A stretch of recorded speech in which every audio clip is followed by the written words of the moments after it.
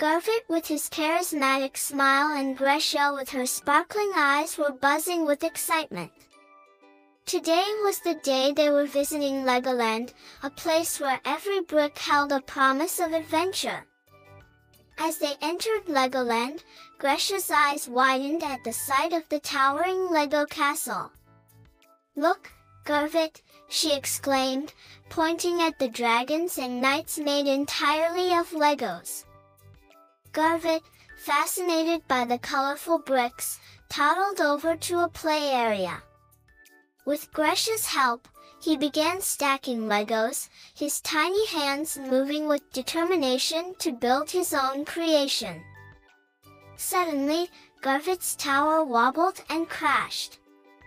His smile faltered, but Gresha was quick to cheer him up.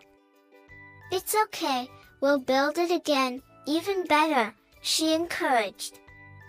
Working together, the siblings created a magnificent spaceship. We did it! Gresha cheered.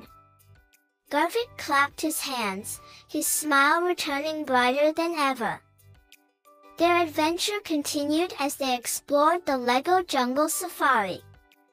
They marveled at the LEGO animals and pretended to be explorers discovering new species. As the day ended, Garvit and Gresha watched the Legoland sunset, their hearts full of happy memories. Legos are fun to make, but the best part was making them with you, Gresha smiled at Garvit.